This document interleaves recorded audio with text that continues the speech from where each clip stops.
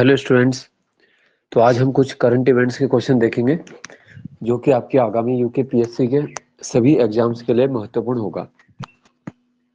सबसे पहले है, नीति आयोग। तो नीति आयोग के जो अध्यक्ष हैं या चेयरमैन है, आपको पता है, प्रधानमंत्री होते हैं। इसके अलावा जो उपाध्यक्ष हैं, वो है इस समय सुमन बेरी सीईओ के पद पर हैं बीवीआर सुब्रमण्यम। संघ लोक सेवा आयोग के वर्तमान अध्यक्ष हैं मनोज सोनी वर्तमान में जो विधि आयोग है, वो है बाईसवां विधि आयोग। तो इसके अध्यक्ष हैं ऋतुराज अवस्थी।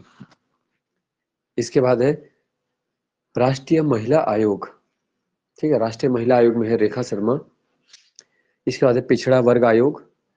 इसके जो अध्यक्ष हैं, पिछड़ा वर्ग आयोग के हैं हंसराज गंगाराम अहीर। ठीक है, इसके बाद है यूजीसी विश्वविद्यालय अनुदान आयोग, जगदीश कुमार। सप्तम वेतन आयोग, जो सेवेंथ पे कमीशन चल रहा है, अशोक कुमार माथुर। और वर्तमान में जो वित्त आयोग है, वो है पंद्रहवा वित्त आयोग, जिसके अध्यक्ष हैं एन के सिंह। तो ये क्वेश्चन आपने पहले भी बहुत पढ़ा होगा।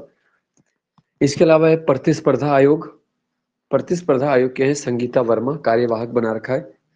और मानवाधिकार आयोग के अध्यक्ष हैं अरुण कुमार मिश्रा। ठीक है? तो इसी तरह जो है करंट इवेंट्स के शॉर्ट टॉपिक के रूप में हम कवर करेंगे।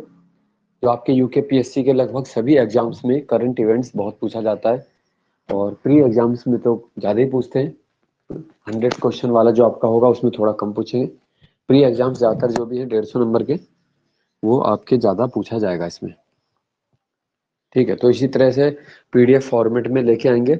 और जल्द ही गढ़वाली, कुमाऊनी जो लोकोक्तियाँ हैं, उसका भी आपके लिए पीडीएफ बन चुका है तो उसका भी आपको वीडियो दिया जाएगा और समझाया भी जाएगा उसको।